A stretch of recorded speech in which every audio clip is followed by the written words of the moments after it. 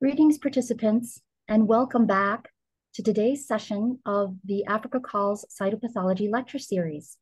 I am Dr. Leslie Lomo, surgical pathologist and cytopathologist at the University of Utah in Salt Lake City, Utah, here to moderate today's session. Just a quick reminder for our audience, if you would like to submit a question for our speaker, please use the Q&A function. I am very, very pleased to welcome Dr. Xiaohua Chen as our guest speaker. Dr. Chen obtained her medical degree from the Fudan University Medical Center in Shanghai, China, and her doctoral degree in molecular pathology at the Medical College of Pennsylvania and Hahnemann University School of Medicine in Philadelphia, Pennsylvania. Her pathology training includes anatomic pathology residency and fellowships in surgical pathology and cytopathology at the Brigham and Women's Hospital in Boston, Massachusetts. She was recruited to their faculty where she served as the director of the fine needle aspiration service and also served on their bone and soft tissue pathology service for several years. She joined the Department of Pathology at Stanford University School of Medicine in Stanford, California in 2020, where she continues to push the diagnostic limits of small needle biopsy samples in the challenging field of bone and soft tissue pathology with an emphasis on multidisciplinary team approach and judicious use of ancillary testing. She has authored many original research articles, review articles, and multiple book chapters on this subject. She's been invited to speak at the American Society of Cytopathology Cyto E conference series, the annual meetings of ASC, European Congress of Cytology, and International Congress of Cytology. In addition, Dr. Chen has taught multiple courses at the annual meetings of the USCAP and lectured at the Advances in Cytology and Small Biopsies CME course that is organized by the Harvard Medical School every year. Recently, Dr. Chen joined the editorial expert board of the first edition of the WHO reporting system of soft tissue cytopathology. And so we are really privileged to have her speak to us today, providing highlights on this new system. So with that, I will turn that over to Dr. Chen. Good morning, everyone. And thank you, uh, Leslie, uh, Dan, and Annie to invite me to give this talk. And um, um, I'm a big fan of soft tissue FNA, as uh, Leslie um, uh, introduced me as that. And um, Today, I will add um, some new updates on the uh, topic on the new WHO uh, reporting system of soft tissue um, cytology. So the objectives of this talk is um, I hope um, you can become familiar with the uh, WHO reporting system uh, for soft tissue uh, cytopathology and um, I will, through my talk, will introduce um, some of the cytologic features of um, many um, mostly uh, encountered soft tissue tumors in our practice. And also, uh, I will illustrate some of the difficulties and challenges um, and also pitfalls in our um, practice. And I hope I will also kind of give you a little bit practical approach and also uh, the routine um, ancillary studies uh, to solve these problems. And um, uh, for this first um, edition of WHO book, and um, right now uh, we have two systems um, um, are completed. And you can see one is the lung uh, for cytopathology, and then the other one is for uh, pancreatobiliary uh, um, system. For soft tissue and the lymph node, we are kind of at a stage of near completion. Uh, so that's why um, my talk um, is a little bit uh, preliminary.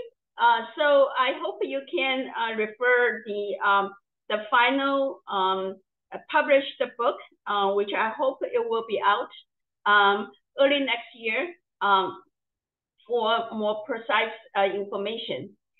And then the uh, the systems that are in progress, um, including liver, uh, kidney, adrenal, and then and breast breast cytopathology.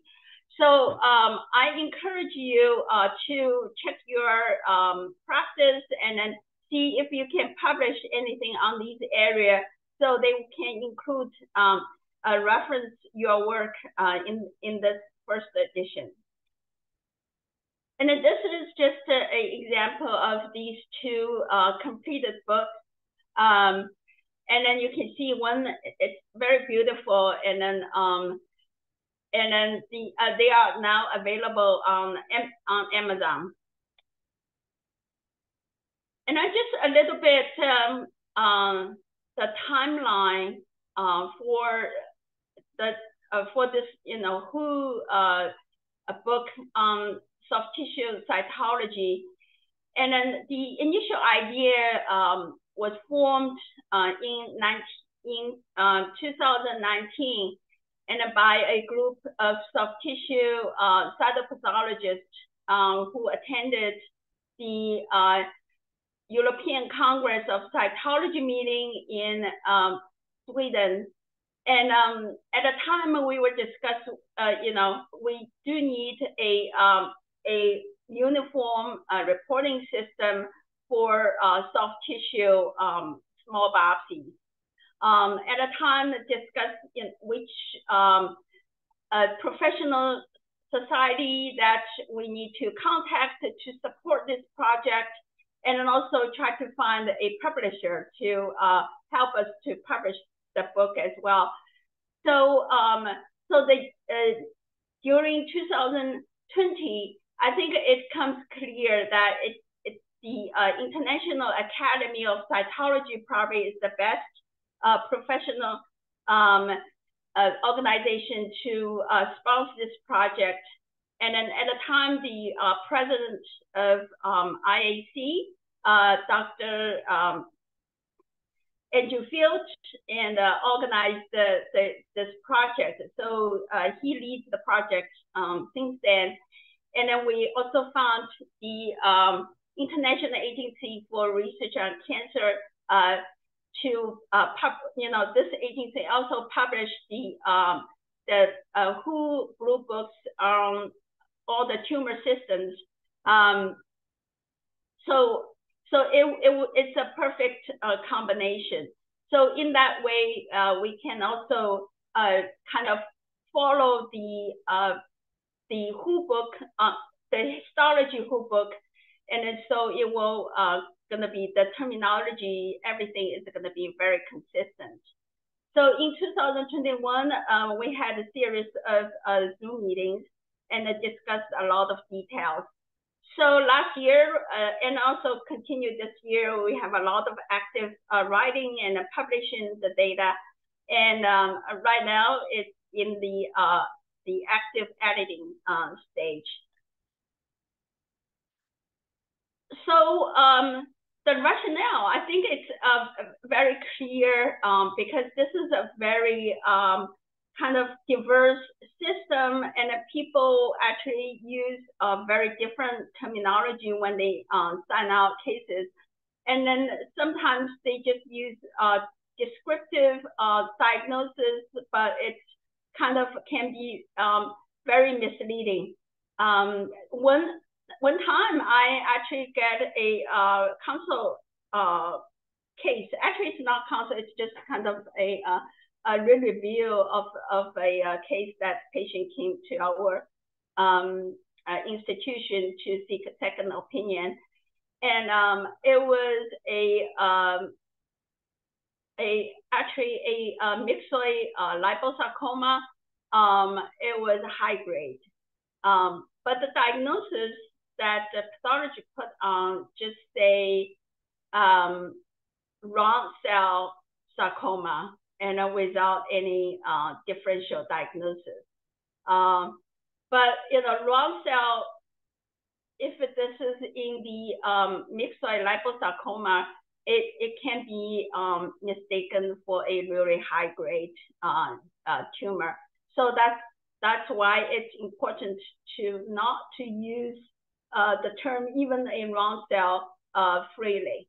Um, and also, as I mentioned, uh, the uh, cytology book, uh, the cytology book, it, it will very closely reflect, reflect the uh, WHO uh, histology book. um, as well. And then um, I want to mention is not all the entities um, in the WHO histology book will be included in uh, cytology book.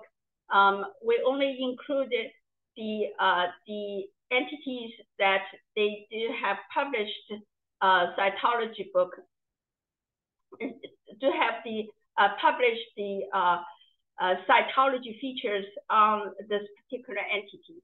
And I hope the system will uh, facilitate the communication uh, between cytologists and then the uh, treating physicians, as well facilitate histocytal correlation.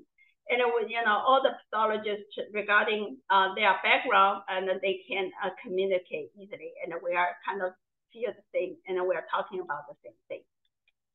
Um, and then in, in the book, which is organizing um, through the whole, the all uh, WHO, um, WHO cytology book, um, so that includes uh, insufficiency, uh, insufficient uh, diagnosis, inadequate or non-diagnostic uh, category, um, benign category, atypical, and then for uh, soft tissue, we have a very specific term, which is for the lesions that you would consider is soft tissue neoplasm of a certain uh, malignant potential, and then suspicious for diagnosis and um, a malignant diagnosis. And I will go through the each category and show you some of the examples. And then in general practice, um, at Brigham as well as um, at Stanford, uh, we usually put a uh, first general category, but sometimes we kind of skip uh, if it's obvious, it's very obvious um, a malignant or benign diagnosis like schwannoma. and uh, but I think it is a good habit to uh, include the general category uh, in the diagnosis um, and then followed by histology subtype. And, and then um, if you can't reach a specific diagnosis, um, a descriptive diagnosis will be fine. But um, a, a list of differential diagnosis um, will be really um, helpful for the, for the clinical management. And for grading, it has to um, kind of keep in mind, not all the soft tissue um, tumors uh, can be graded. Um, and then for uh, certain tumor, you kind of uh, use small needle biopsy. You always want to uh, put a uh, provisional grade. Um, and because um, it in the um, in the final uh, resection, the grade can change. Um, and then you want to put the uh, ancillary study re results to, these results should support your above diagnosis. And also the notes and the recommendations are um, very, can be very helpful to explain some of the, uh, especially for the, when you give a de descriptive diagnosis and then to guide the clinicians to, um, for the uh, patient management. And in the um, first category is the uh, insufficient uh, samples. And these are the samples um, usually do not permit a, a, reliable interpretation of the targeted soft tissue lesion. And it can be um, you don't have a lot of cells or it's kind of poor preservation. And then the um, uh, the um, kind of the the committee consider all these three terms um, can be used, um, but each institution uh, should pick one and then use um, that particular one uh, consistently. So then the clinicians um, won't be get confused.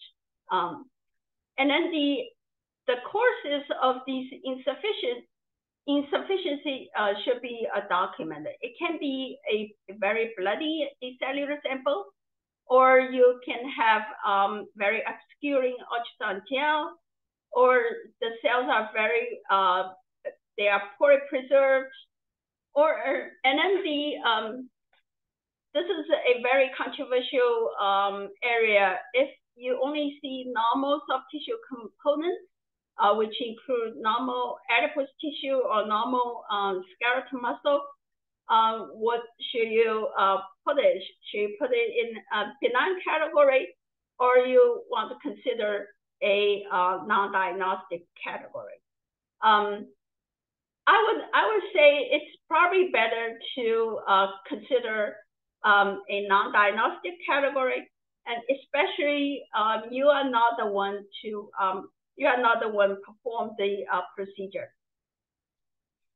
And then also uh, be careful about hematoma um, and without a trauma history. So um, some lesions uh, can have um, extensive hemorrhage um, in the in the tumor. Uh, so when you have a, especially when you have a fine needle aspiration, and you can just get the uh, center area does not see any uh, peripheral lesional uh, tissue.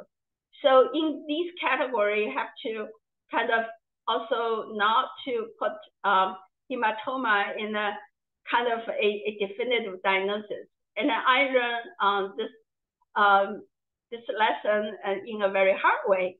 So I will show you a, a example of um, uh, my experience on this category.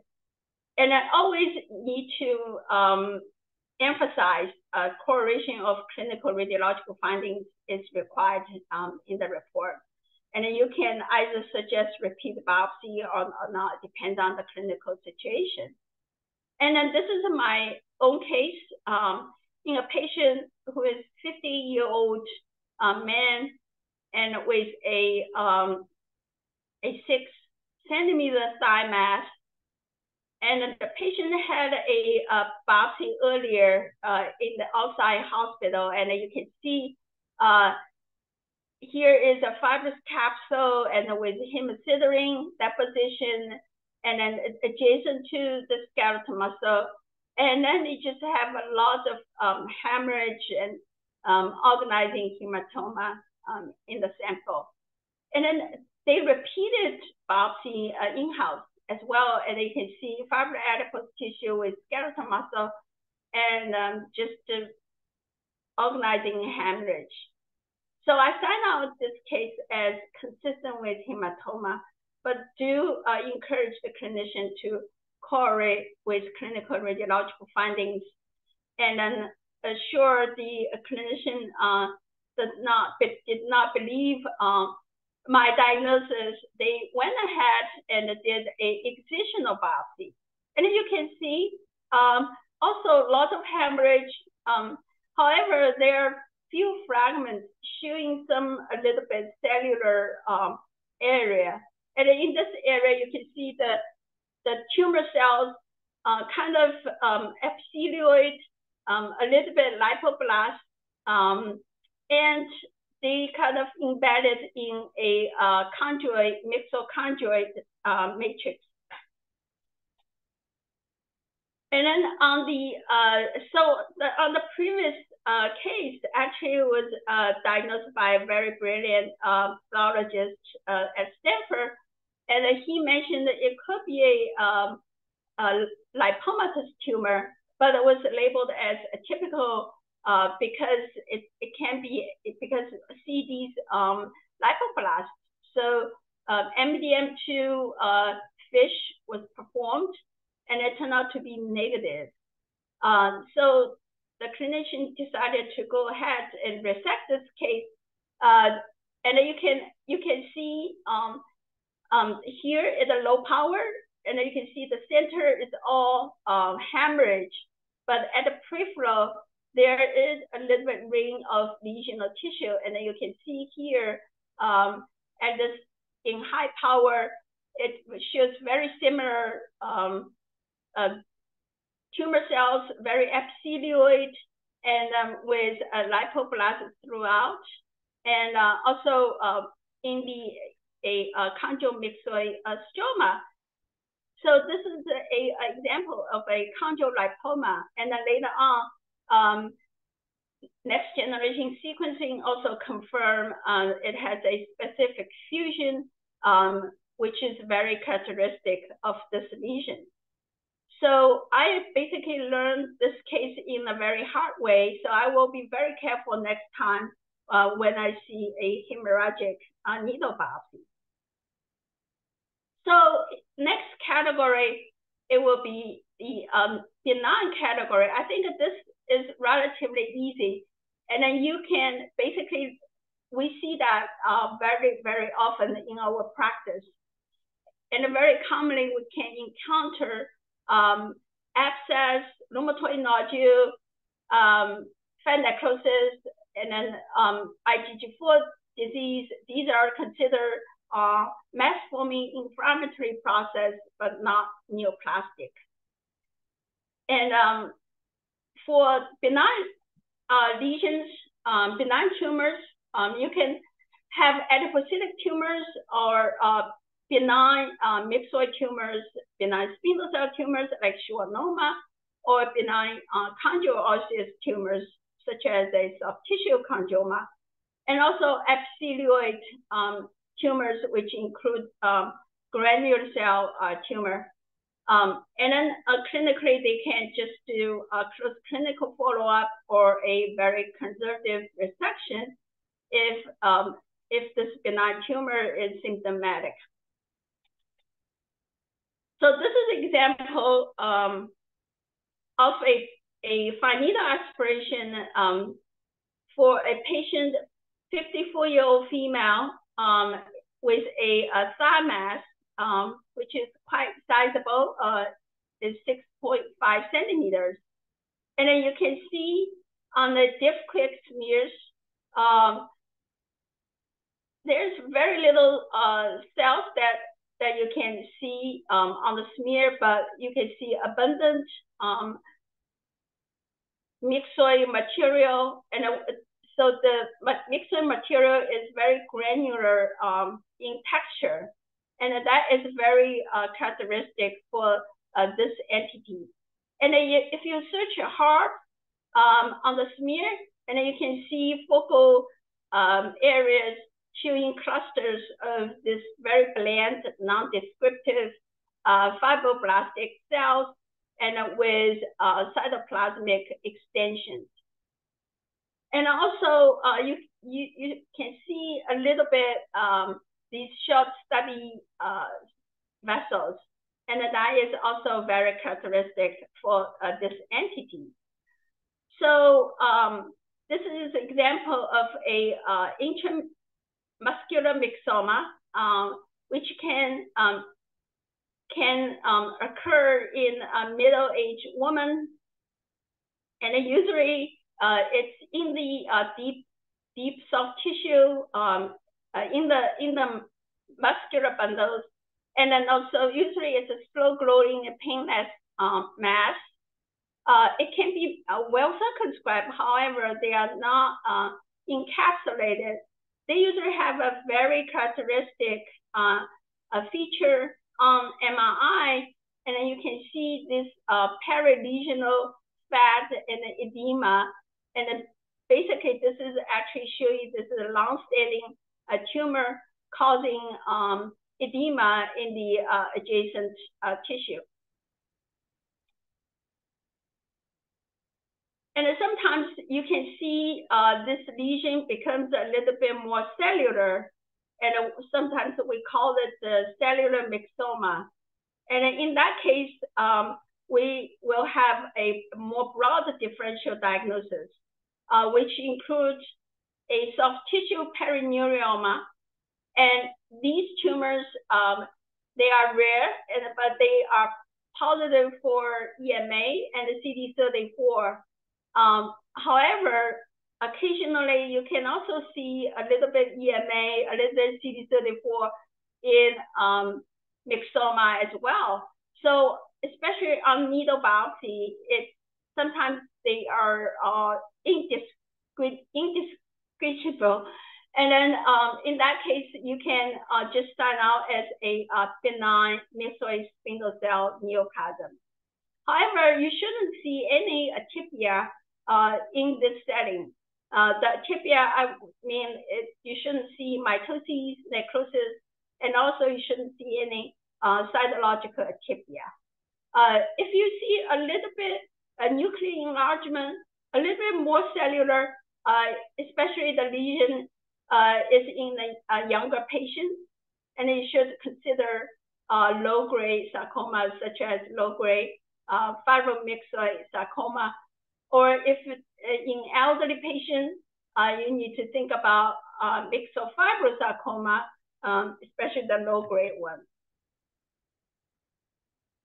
In the next case, I would discuss, it's actually quite common um, seen in the um, elderly um, male patients. And then this is example and showing you um, there is a, a small neck uh, mass. It has been uh, there for many years. Um, however, because his uh, wife recently uh, diagnosed cancer, then he thought, oh, it's better to check this out. And then so it came to uh, Brigham, and then there's this is a, a CT scan and it's showing a small uh, subcutaneous nodule uh, in the posterior of the neck. And then on FNA, actually this case was done by our uh, cytology fellow at the time. So this is a palpable fine needle aspiration um, performed at the FNA clinic. And then you can see uh, there are clusters of uh, myxoid uh, stroma material. And then in the material, you can see vessels and then also some very bland uniform uh, cells. Um, however, if you look at these cells more carefully, uh, they are very bland and then they are kind of elongated. Um, and then also there is a fatty component as well. Um, so this is a, a case, if this uh, is an FNA from a thigh mass, deep-seated, uh, you probably want to consider uh, myxoid liposarcoma. However, this um, clinical presentation and with all these, um, the cells look quite spindly um, so the main main consideration of this case is a uh, lipoma. And, uh, and so the uh, morphological features um, listed here, and then there's a one very important thing to look for is these uh, ropey collagen uh, fibers. And then as you can see here, and then these are very uh, bright, uh, long uh, fibers that you can search um, on the Diff-Quik uh, smears. Um, and then this reflects the, uh, the histology um, features. And you can see here, these are abundant um, collagen fibers. And then you have a, a three major components of this lesion.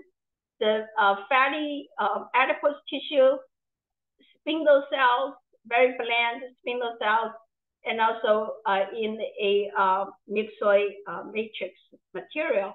And these tumors uh, do have CD34 positive and then have um, RB loss. Uh, they usually have the you know, loss in the chromosome 13q14 region. And then there are some um, related um, entities, which include uh, cellular angiofibroma and the mammary type uh, myofibroblastoma. Uh, it depends on the clinical situation. You want to consider uh, these entities as well.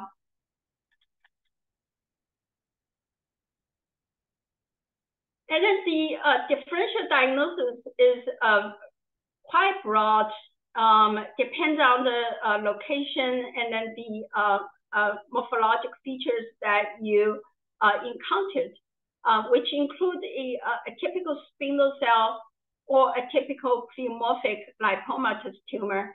This is actually a relatively new entity, um, but it's um, in the WHO book uh, 2020. Uh, but we are not included this particular entity in our book, but it's listed as a differential diagnosis. And then, of course, you want to consider a more common um, malignant uh, counterpart tumor, which is a typical lipomatous tumor, um, or a well-diff uh, liposarcoma, but usually it to have MDM2 um, amplification. And then if you have a lot of spindle cells uh, in the lesion, then your differential diagnosis also includes a schwannoma. Um, and I, as I uh, illustrated this case, uh, if they are more clustering um, around the vessel, uh, the other consideration is myxoid liposarcoma. But like myxoid liposarcoma can have, uh, they, they do have M, a DDIT3 arrangement, which can be uh, detected on FISH and also now a um, a uh, immunohistochemistry marker um, has been de developed. So uh, we can do that um, by immunohistochemistry as well. Um, with the uh, collagen uh, bundles as well as CD34 pos positivity in these lesions, uh, you can also consider uh, thoracic fibrous tumors, which are usually have STAT6 positivity. And then in the subcutaneous uh, region uh, with CD34 positivity, and also um, you want to consider uh, DFSP as well. In the next case, I want to uh, illustrating um, a, uh, a tumor can produce uh, kind of false positive uh, diagnosis on fine needle aspiration. Uh, this is FNA from a patient, 35-year-old female. Uh, patient presents a, a new um, arm mass. And then on the um, fine needle aspiration, you can see it's very uh, alarmingly cellular. Uh, a lot of cells, and then the cells can look a little bit atypical because they do have very uh, plump nuclei. And also you can see um, there's a uh, myxoid stroma. So basically, um, I want to point out here uh, is that uh, once you see uh, myxoid material, even a little bit, uh, you know, chondroid material, uh, don't jump on the conclusion it, it's a malignant um, neoplasm. Um, many soft tissue, even a reactive condition, can have myxoid stroma. And then also on the uh, fixed smears, uh, you can see the cells are organized in a kind of uh, non-organizing way. It's not a fascicular formation, uh, but they do have this very spread out um, uh, morphology. Kind of they are, if you do tissue culture, and you probably would appreciate the uh, fibroblast uh, morphology um, on the patch dish and this is exactly what it what it is, and it, it's considered a, a very typical morphology of a, uh, a tissue culture appearance. And then you also can appreciate some of the inflammatory cells uh, at the mixed in. And then for, for nuclear uh, features, uh, they are usually uh, very pale. Uh, you can see small nuclei, um, but you don't see uh, nuclear um, membrane uh, irregularity, and then they do have a little bit histiocytoid appearance. And then sometimes you can also see um, uh, mitoses, um, it can, which can also be very alarming, and also uh, multinucleated uh, osteoclast-like uh, giant cells. And then, and also they can be diffusely strongly positive for SMA. And then sometimes um, you know, people can mistake this as a uh, leiomyosarcoma. So this is a, a example of a uh, nodular fasciitis. And the clinical presentation is very important. Uh, they are usually rapid uh, growing mass. And you will get a, a history like, oh, um, I just noticed this um, mass in the shower this morning, uh, something like that. And also, uh, there should be uh, small, less than three centimeters. And uh, most of these lesions are subcutaneous, which is kind of close to the most superficial uh, fascia. And then um, these tumor cells uh, can be, uh, you can see a little bit, um, many faces. Um, it, it can have spindle, it can be a little bit polygonal. However, the nuclear feature um, are, the, are the same.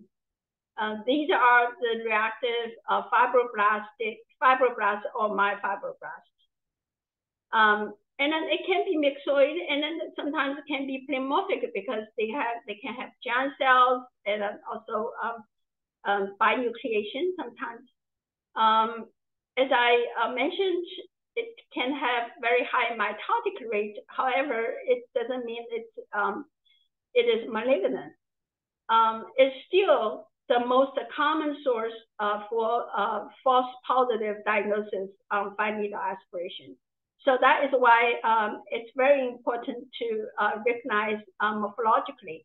Um, and then also, um, if you um, have access to uh, next generation sequencing, uh, you can always um, do a, uh, a test to detect USP6 rearrangement in uh, difficult cases. And we do have a difficult cases uh, in a patient um, actually it has a very prolonged history. It, uh, the nodule uh, persists there for um, almost half a year, uh, does not uh, regret, regret. So um, it, it, and then so it get biopsy a few times.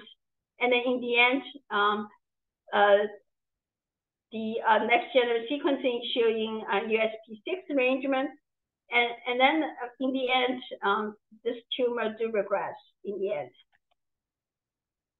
And then in this atypical category, um, it is for uh, lesions um, that you think essentially it's a benign uh, tumor or benign lesion. However, you see some unusual features and then make the remote possibility of um, um, kind of, you know, it could be a remote uh, possibility of a uh, malignancy. And then these lesions cannot be regarded as non-diagnostic because you do have uh, good quality um, uh, material. And then I have to emphasize uh, in this category, uh, you have to consider um, the suspicion for malignancy is low. If, if the suspicion for malignancy is high, uh, you should call it suspicious, not atypical. And there's no specific entity in this category. Um, however, um, I listed a few uh, scenarios that you want to consider a, a typical diagnosis, uh, such as the ones I just illustrated. Uh, for a nodular fasciitis, you consider nodular fasciitis. However, you don't have clinical data, or you have you don't have um, clinical uh, the uh, molecular confirmation. You see abundant necrosis with scattered um, atypical cells, and um, your differential diagnosis, um, including infection, lymphoma, carcinoma, and sarcoma, you have a very broad differential. But your, if your suspicion for uh, lymphoma, carcinoma, sarcoma is high, and then you should consider sus suspicious diagnosis rather than a, a typical diagnosis. Um, so it's only for situations that you have really abundant or pretty much all ne necrosis with very little cell uh, amount of cells, and you you can't even tell if these cells are uh, plump histiocytes or um, lymphoma or, or carcinoma cells. And in the situation like a pleomorphic lipoma, and you see possible lipoblasts and without um, molecular uh, confirmation. And in, in this setting, you um, probably want to uh, consider a, a, typical diagnosis as well, especially when this pleomorphic lipoma in, um, occur at some unusual uh, locations, uh, not in the you know typical head neck or um, elderly men, that kind of clinical situation. And also, if you see a, a chondro-osseous lesion and does not have uh, imaging data, and to confirm this is um, pure soft tissue lesion, sometimes a bone tumor can grow out, out of the um, kind of have a destructive uh, uh, feature and then um, have soft tissue uh, component. And even though uh, they can look very bland, um, such as in the setting of a, a uh, morphologically it looks very benign, but actually it's a malignant neoplasm.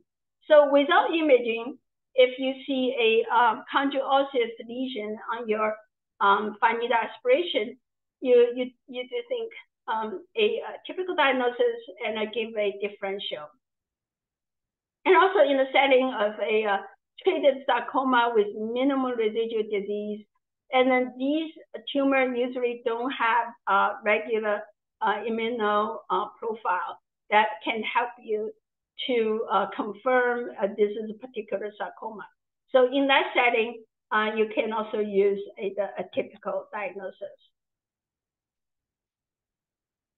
All right, in the category of um, soft tissue neoplasm of uncertain malignant potential, uh, these are the uh, tumors um, in the WHO histology book, and these are considered uh, to have a uh, intermediate um, biological uh, potential, and they can be locally aggressive or um, rare um, metastasizing. Um, these are uh, the tumors. Uh, we sometimes on on the big resection, we do give them a uh, risk stratification for malignancy. And then uh, these are usually based on uh, histological parameters and cannot be applied on um, a uh, cannot be applied on the small biopsies.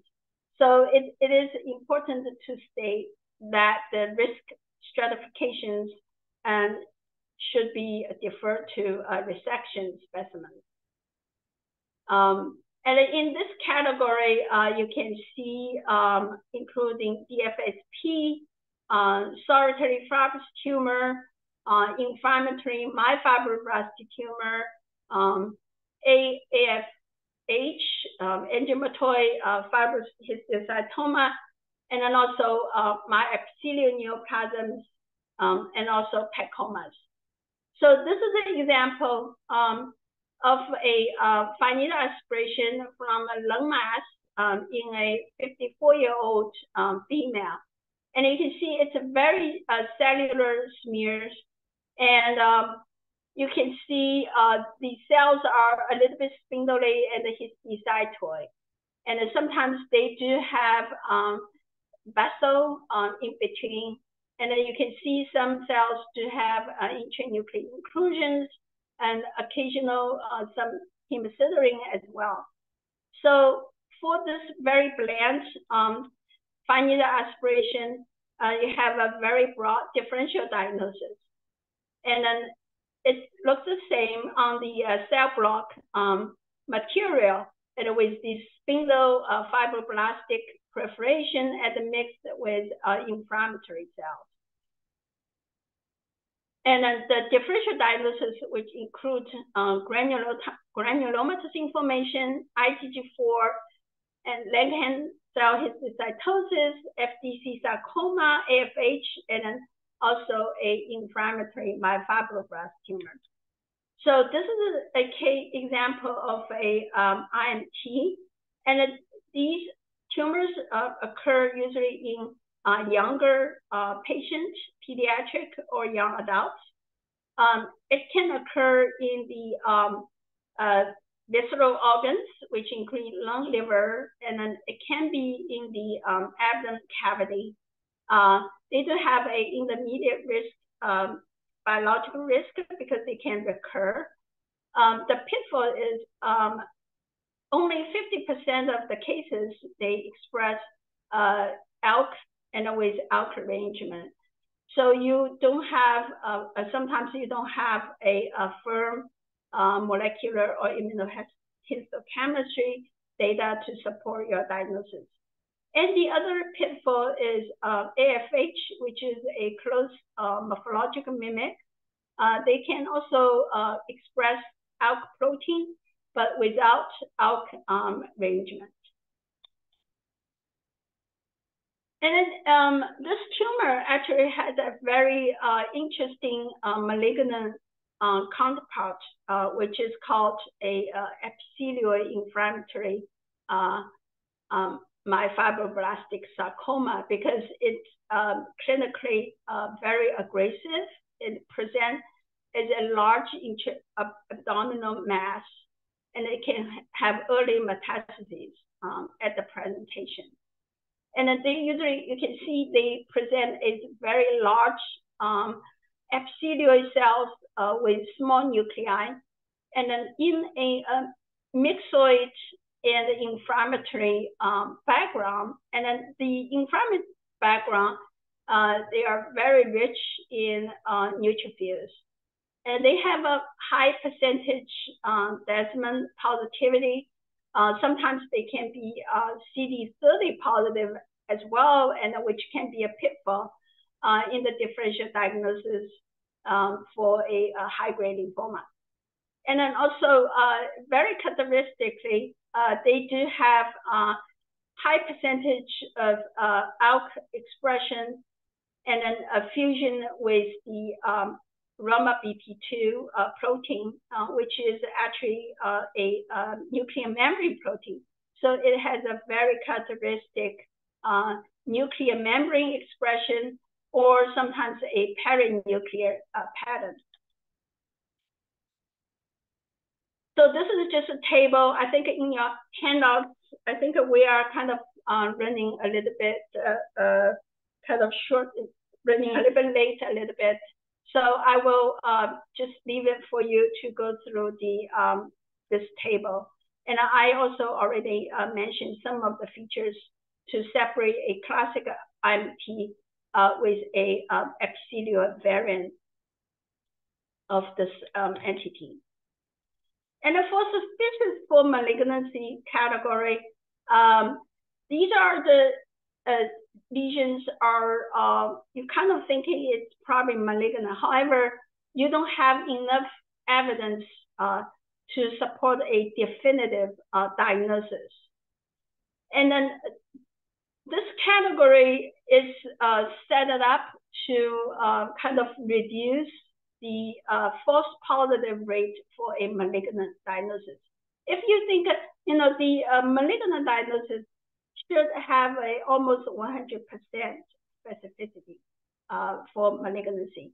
Um, so if you think it's still, there is a chance uh, for a benign diagnosis, and you need to consider uh, this is as a suspicious uh, diagnosis. Um, as I mentioned, if you're suspicious for sarcoma, however, you don't have enough uh, cell block or core for ancillary test to uh, give a definitive diagnosis, then you should consider. Actually, in reality, um, it's quite um, not common. Uh, so far, we uh, only set one or two percent of cases for a suspicious for diagnosis. And um, um, I think a part of the reason is um, um a typical diagnosis gets a little bit um, overused. Um, and then, so in this category, a list of differential diagnoses should be included in the report. So uh, this is, I just want to show you a, a example. Um, this is actually confirmed the diagnosis on the resection, but on the cytology sample, uh, because we don't have enough material for ancillary study, um, it was ended up a, a suspicious. So this is a 42 year old um, man with a thigh mass, and on the needle biopsy, you can see um, epithelial cells um, scattered around. However, they are very, very uniform. Um, there is a hint of a myxoid stroma in the background. So the uniformity of this um, lesion actually indicate it might be a um, translocation tumor or a fusion um, tumor, a gene fusion tumor. Um, on a core needle biopsy, you kind of get a hint it might be a mosaic um, pattern with a hyalinized fibrotic area as well as a, uh, a, a, low kind of hypocellular uh, myxoid area with um, vessels. So this is the case you want to consider a, a diagnosis of a um, low-grade spindle cell neoplasm suspicious for spindle cell sarcoma, or you are, if your suspicion is high for a low-grade um, a fibromyxoid sarcoma, you can actually state that. But also, if you don't have uh, uh, evidence for um, uh, you know the uh, immunohistochemistry or um, a lesion for a fusion gene um, confirmation, then you probably end up uh, with a suspicious diagnosis with a differential diagnosis can be include a cellular myxoma, um, soft tissue and even a desmoid fibromatosis, and also solitary and also other low-grade uh, sarcomas. So it's a very broad differential diagnosis. And then this um, difficulty is also illustrated in multiple uh, publications. And then uh, you, can see uh, they, it can have lots of um, hyalinized stroma um, and a very non-specific um, cytomorphology. And then they all uh, comment. If you only have cytologic smears, um, you won't be able to uh, make a definite diagnosis. Um, on, on this entity. And then this is just a table to illustrating um, the two entities. Um, they are have a very similar name, um, but they are totally uh, different entities.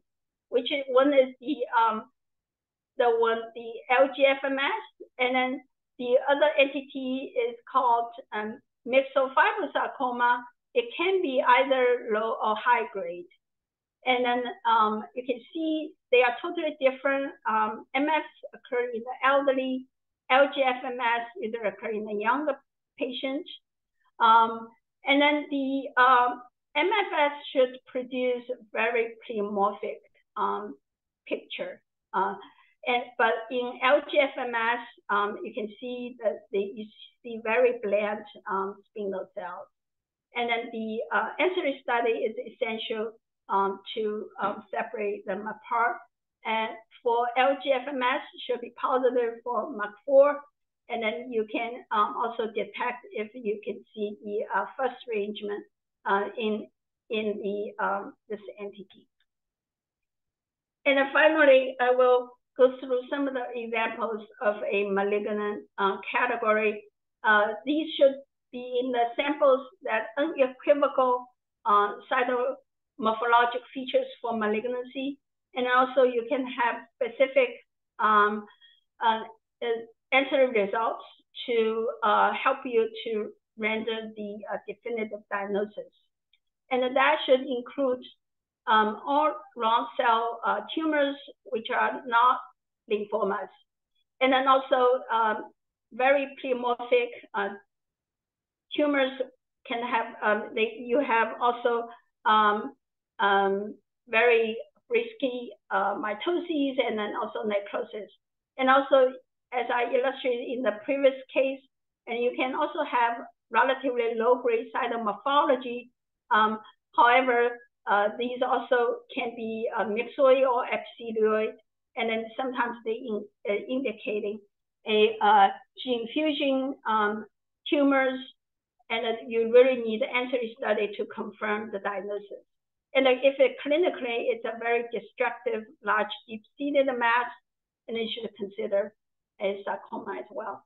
So I listed the um, entities that um, included um, in the um, in the particular um, the um, the morphological patterns, and I'm I don't have time to go through all of these, but you do have the uh, handouts to uh, to uh, review them.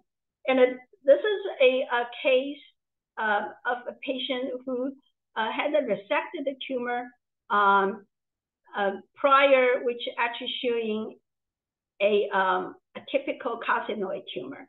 Um, and then you can see the FNA smear is quite cellular and a low grade and very um, uniform.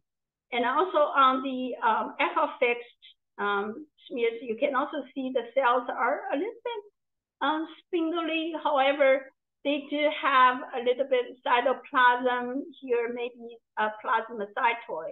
Uh, yes, um, um, and also uh, you can see a little bit uh, granular um, kind of salt pepper um, chromatin as well. So it is clear uh, you do want to include a uh, low-grade neuroendocrine tumor in your differential. And then you can see the cell block also show a nested pattern. Looks like a, um, it could be a carcinoid tumor. Um, and also synaptophysin is positive. However, on the uh, NGS um, um, study actually showed this tumor to have a uh, fusion gene, which in, includes the uh, involving the EWSR1 and the ERG. So this is a example of a um, Ewing sarcoma and mimic a, um, a typical carcinoid tumor. And then uh, do remember uh, that um, if you apply uh, CD99, the diagnostic immunohistomarker, um, and then you should show a clear um, diffuse and membranous staining pattern, uh, not kind of granular pattern. And I will show you example in the other um, exam in, a, in another case. And then also these tumors uh, can have a little bit um, neuroendocrine marker, which include um, synaptophysin. So these are kind of very non-specific um, staining. So the uh, Ewing sarcoma, even though it's a relatively common sarcoma uh, in in the uh, pediatric, and then also we can see in adult population as well. However, it still uh, can cause uh, diagnostic uh, dilemma. And then the next case uh, is also um, another, you know, I would illustrate the possibility of a, um, a mistaken, you know, a case mistaken for Ewing sarcoma. So just want to um, emphasize the cytomorphology uh, for Ewing sarcoma, and then you should see um, tumor cells do have a little bit cytoplasm and also against a in the background, which you call the tigroid background, um, which actually means it does have uh, glycogen uh, in the uh, cytoplasm. And then they should show very clear um, nuclear membranous staining for uh, CD99. And then in the this next case, um, you can see uh, also it's a lung mass, very large, uh, in a patient with history of breast cancer, though, they actually suspect it could be a metastatic uh, breast cancer. And you can see uh, clearly it's a malignant um, round cell tumors, um, have a lot of um, pycnotic cells. Um, so it could be carcinoma, could be melanoma, could be sarcoma, even can be lymphoma. So actually, initially, the pathologists think this is a uh, lymphoma, and applied a lot of um, lymphoma marker. And sure enough, they are actually positive for BCL2 and BCL6. And in the second um, opinion, um, they think it could be a Ewing sarcoma, so they did a CD99. However, um, instead of membranous staining, uh, this tumor actually have um, a little bit cytoplasmic granular staining pattern. So, so they actually render the diagnosis of uh, Ewing sarcoma. So this is just a comparison of the, the CD99 that you should see in the Ewing sarcoma and then some non-specific CD99 staining in other entities. Um, so they actually uh, forgot to look at the uh, smears. Uh, actually, the smears is very telling And you can see it's a very uh, kind of cohesive groups of cells and, and with single cells and the clusters kind of alternating um, these features. And compared to a Ewing sarcoma, you should see more dispersed um, tumor cells. So this is a, end up, it's actually a, uh, a poorly differentiated uh, synovial sarcoma uh, with SS18 arrangement. So I just want to also um, give you another picture of a synovial sarcoma FNA smears.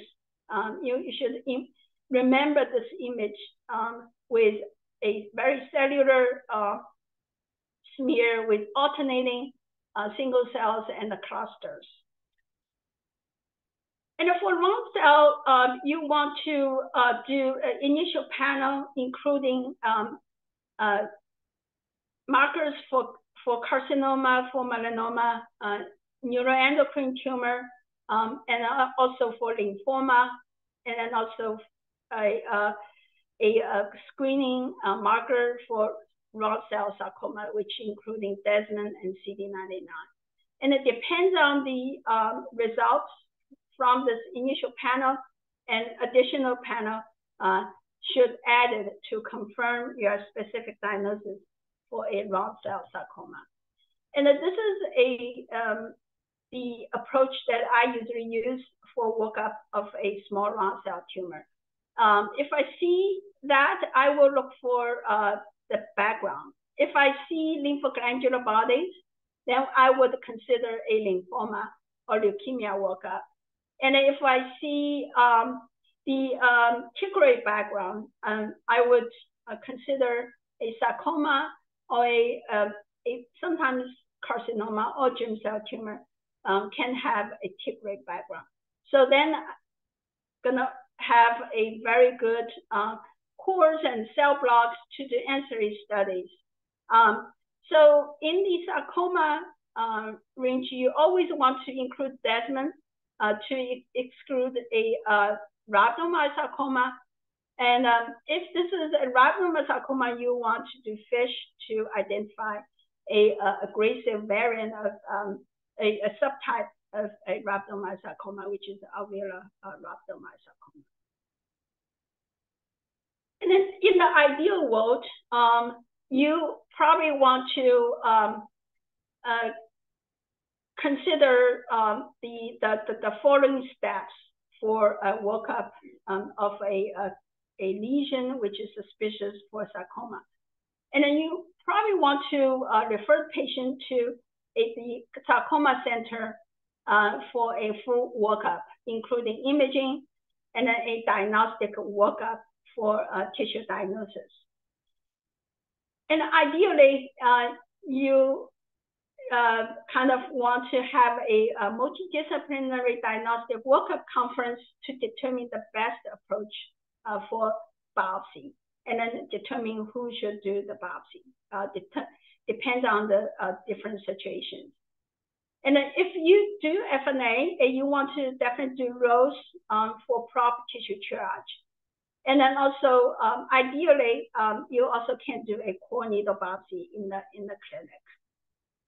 And then if you do think um, ancillary study is needed, and then you have uh, obtained material for cell block, and you probably want to think to get two cell blocks instead of one, uh, because one can used for um, immunohistochemistry workup.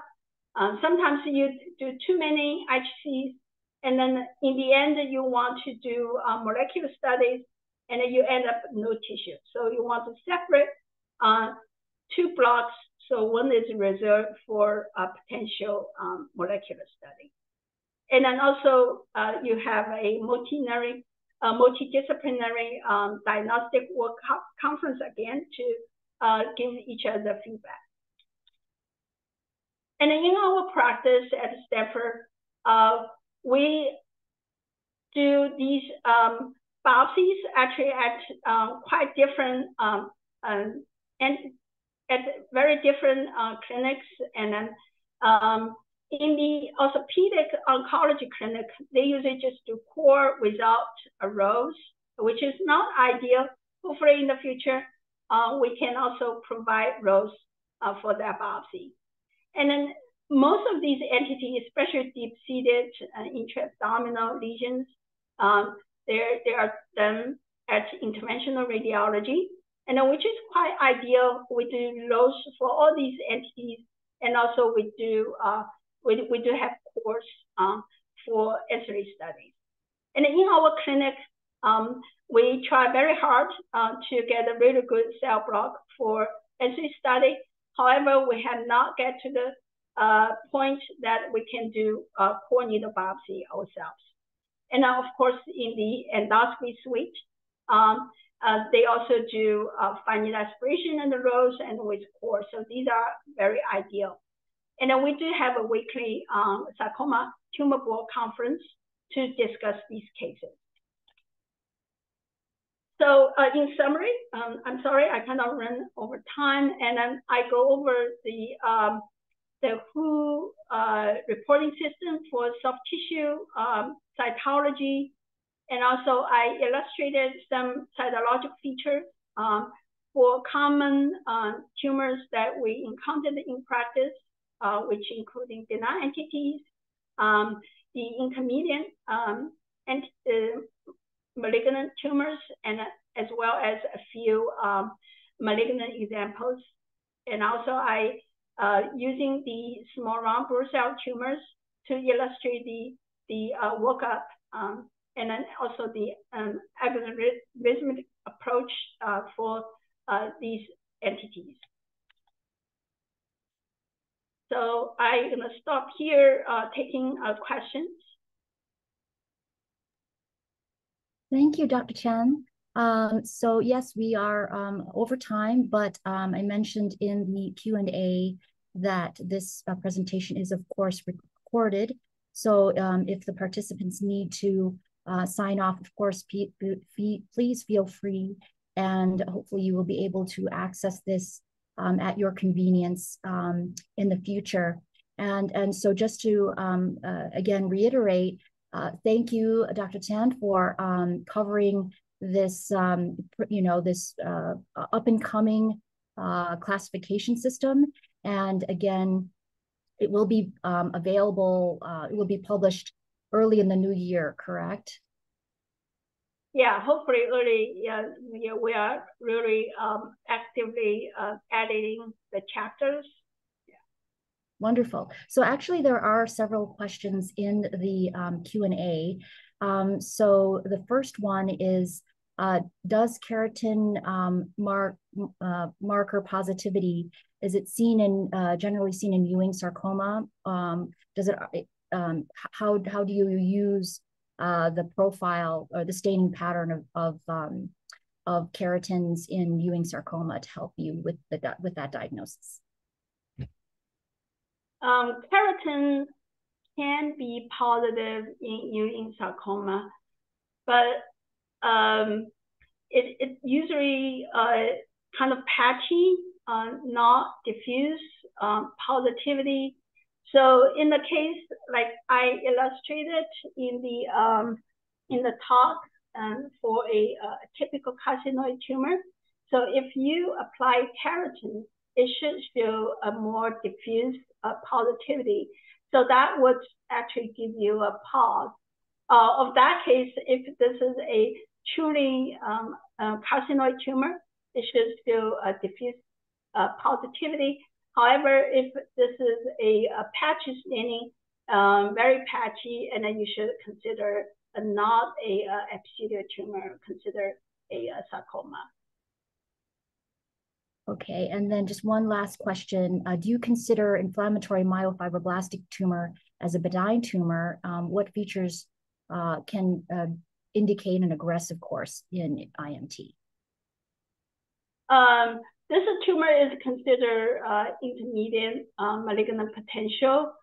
And um, there is no uh, well documented um, uh, for a regular classic um, um, IMT for to predict uh, malignancy. But I would say a large tumor size, um, it probably would indicate a, a malignant potential.